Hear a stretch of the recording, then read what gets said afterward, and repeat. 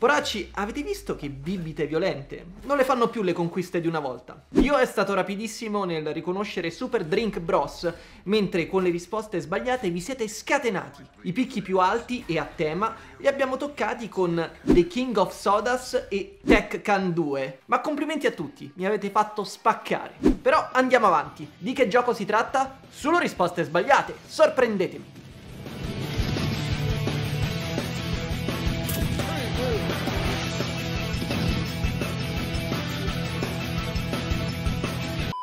Poracci, bentornati o benvenuti su TG Poro, l'unico format di YouTube Italia dove si parla di videogiochi anche al di fuori del Giappone. Oggi ho deciso di sbilanciarmi e affermo che questa puntata sarà ricchissima. Me lo sento. Parleremo di alcune problematiche sollevate dal nuovo trailer di Mario Strikers Battle League, di un comodo modo per organizzare gli sconti su eShop e risolvere così uno degli aspetti più frustranti di Switch e finalmente parleremo anche di novità riguardanti Final Fantasy XVI. Prima di iniziare però vi invito ad allontanarvi da quella rete elettrificata e a mettervi in marcia verso la conquista non violenta di internet.com e la fondazione del Poroverso. Lasciate un like, iscrivetevi attivando la campanella delle porotifiche e seguitemi su tutti gli altri social. I link li trovate in descrizione. Bene, ho detto tutto. Iniziamo!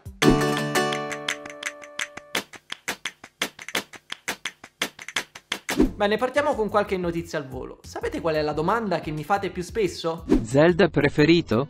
Escluso quello, in continuazione mi chiedete se ci sono novità riguardanti alle versioni Nintendo Switch di Fall Guys e Genshin Impact. Purtroppo non posso ancora rispondere a queste domande, ma sono qua per dirvi non mollate la speranza. Mentre per Fall Guys è da febbraio che non riceviamo notizie sullo stato del porting per Switch e Xbox, che rimane comunque confermato in arrivo entro la fine del 2022, c'è un piccolo aggiornamento per quanto riguarda il destino di Genshin Impact, lo Zelda preferito da 61 milioni di utenti al mese, a quanto pare. Gli sviluppatori e publisher del titolo, MiHoYo, hanno risposto alle richieste dei giornalisti di Go Nintendo sullo stato della conversione, rassicurando l'utenza Switch, affermando la conversione versione per Nintendo Switch è ancora in sviluppo e rilasceremo più informazioni strada facendo. Insomma, non cambia nulla, ma almeno il progetto non è stato ancora abbandonato. Notizie decisamente meno rassicuranti, ce ne vuole, per Monster Hunter Rise. È stato infatti confermato da Capcom sul sito ufficiale di Monster Hunter Rise che tutti i giocatori, dopo l'uscita di Sunbreak, dovranno scaricare una patch di 13 GB se vorranno continuare a giocare online. Il download sarà obbligatorio anche per chi non acquisterà il DLC.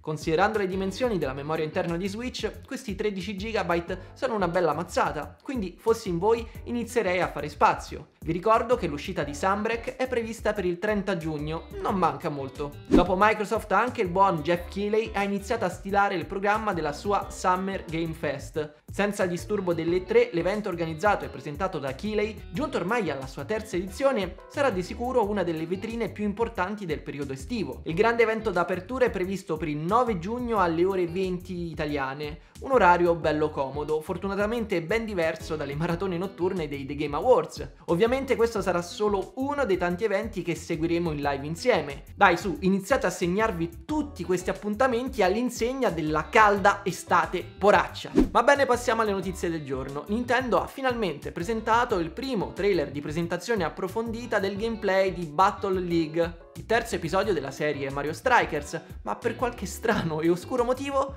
il video è rimasto confinato al territorio giapponese. Cerchiamo quindi di capire più o meno quello che viene mostrato durante questi 5 minuti di gioco e anche perché sono emersi degli elementi che hanno suscitato perplessità in molti utenti. Tolto dall'equazione Switch Sports, possiamo finalmente concentrarci sul ritorno calcistico più atteso degli ultimi anni. Ne è passata di acqua sotto i ponti dall'uscita dell'episodio su Wii, ma la serie sembra aver mantenuto il suo stile stile inconfondibile, un taglio decisamente aggressivo, quasi tendente al violento, tra molte virgolette, che stona in modo intrigante con l'art style che ci si aspetterebbe da una produzione con protagonista Mario. L'ossatura del gameplay sembra essere rimasta più o meno invariata, un calcio arcade 5 contro 5 completamente fuori dagli schemi, senza falli e pieno di mosse scorrette, e per ora l'unica innovazione radicale alle fondamenta del gameplay è quella di aver implementato la possibilità di spingere e fare falli sui propri giocatori per aumentarne la velocità e proiettarli in porta. Sicuramente una meccanica tattica che spinge spingerà i giocatori più navigati a creare degli stili di gioco da veri pro. Ottima anche la possibilità di personalizzare il proprio equipaggiamento per alterare le statistiche dei singoli protagonisti e viene poi confermato anche un impianto di gioco votato principalmente al multiplayer sia in locale che online, con la possibilità di formare dei club fino a 20 giocatori. C'è da dire che il ritmo di gioco sembra leggermente meno frenetico rispetto ai suoi predecessori. Inoltre i campi da calcio sembrano molto più piccoli, non trovate? Comunque, quello che si è visto fino ad ora è parecchio incoraggiante, ma c'è un grosso ma. Battle League sembra essere carente in contenuti.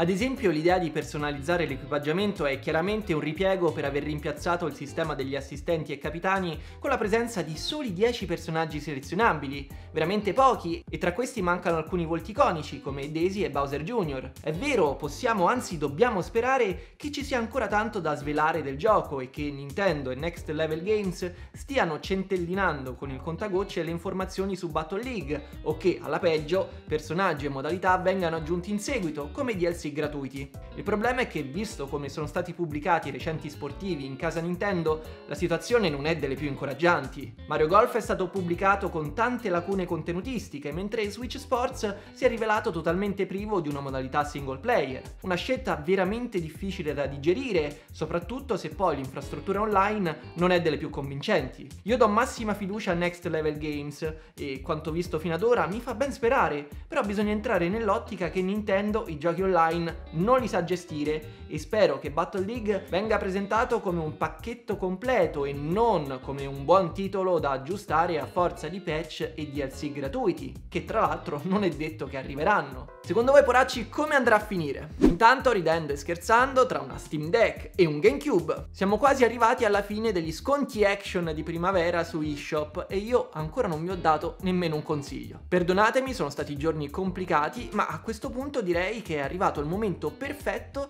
per darvi qualche utile trucco per gestire al meglio l'eShop. Visto che il problema dell'eShop è che è praticamente impossibile da navigare ed organizzare i propri acquisti è un inferno, soprattutto quando ci sono queste offerte a tempo, il primo grandissimo consiglio che vi do è quello di utilizzare Deku Deals, una piattaforma che ho scoperto grazie alle vostre segnalazioni. Si tratta di uno strumento utilissimo che permette di leggere e organizzare a piacimento tutto il database dello store Nintendo, senza dover stare a combattere con l'interfaccia dell'eShop. È utilissimo perché già col primo colpo d'occhio potete capire subito quali sono le migliori offerte, se i prezzi in sconto sono effettivamente i migliori di sempre, ovvero i lowest price ever, oppure se in passato ci sono state offerte migliori. È possibile vedere lo storico dei prezzi per farsi un'idea di quanto frequentemente ogni titolo va in sconto e affinare la propria ricerca secondo numerosi filtri come generi, numero di giocatori, lingue di gioco e anche punteggio Metacritic. Creando un account potrete poi gestire la vostra collezione e guardare anche le raccomandazioni del sito. Insomma, a me ha evitato tantissimi mal di testa derivati dagli scroll senza senso sull'eShop di Switch e visto che ci sono vi do al volo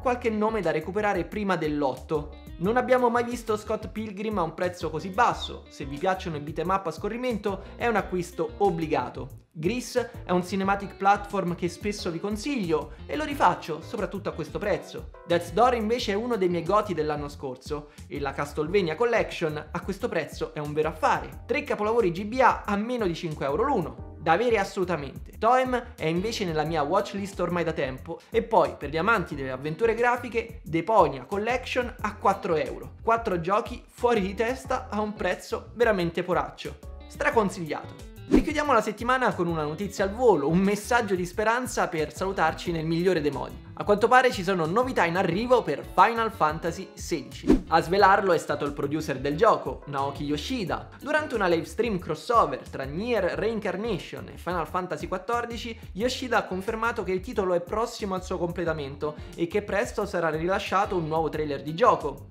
Ora, fermi tutti, so a cosa state pensando. Ma cos'è una crossover live stream? Questo non ve lo so dire, però intanto posso rispondere a un'altra domanda. Sì, penso proprio che avremo maggiori informazioni su Final Fantasy XVI durante il periodo estivo, probabilmente in un nuovo State of Play o magari un PlayStation Showcase. Non mi sembra vero che finalmente riusciremo a vedere la luce su uno dei progetti più attesi degli ultimi anni. Però, oh, Square, non fare scherzi, eh. Ultimamente non è che il publisher se la stia passando benissimo e dopo il mezzo disastro di Final Fantasy XV spero veramente che il suo successore abbia avuto uno sviluppo meno travagliato, anche se continui rimandi non fanno presagire a nulla di buono. Incrociamo le dita per Final Fantasy XVI e intanto ditemi, state aspettando con impazienza anche voi la nuova fantasia finale Oppure dopo Stranger of Paradise nulla ha più senso in questa realtà dominata dal caos. E questo però era tutto per oggi, vi ringrazio per essere arrivati fino in fondo e vi aspetto qua sotto nei commenti per continuare a discutere insieme delle notizie del giorno. Non mi resta che augurarvi un buon weekend, noi ci rivediamo lunedì con un nuovo video,